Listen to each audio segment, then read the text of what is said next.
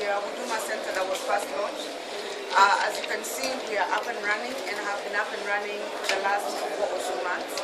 Um, the concept of the Huduma Center is one that brings government services under one roof. And the reason we thought that this is a good way to go is because um, one of the commitments that are given by this government is to streamline public service delivery and to ensure that we're providing effective, efficient services to the Kenyan public and to do that uh, under one so that they do not have to move from one office to another to receive that service. The other thing that the Huduma Center has done is to standardize this, the service that we're giving to the public. You will see that there is the same customer service uh, requirements. Uh, you will find the counters are the same.